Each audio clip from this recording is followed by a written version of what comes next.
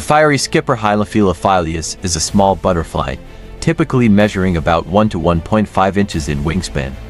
It has a compact body and relatively short, triangular wings, which give it a robust appearance compared to other butterflies. The males and females have distinct coloration. With males usually displaying bright orange wings with small, black spots, while females are darker, ranging from brown to orange-brown, and have more prominent black markings and patches. Both sexes have a unique, somewhat checkered pattern on their wings that makes them easily recognizable.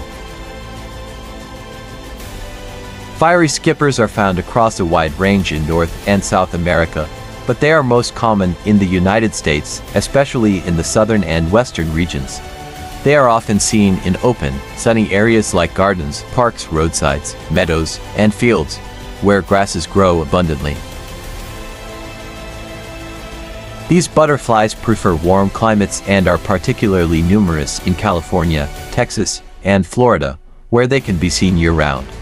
In cooler regions, they are usually active from late spring to early fall.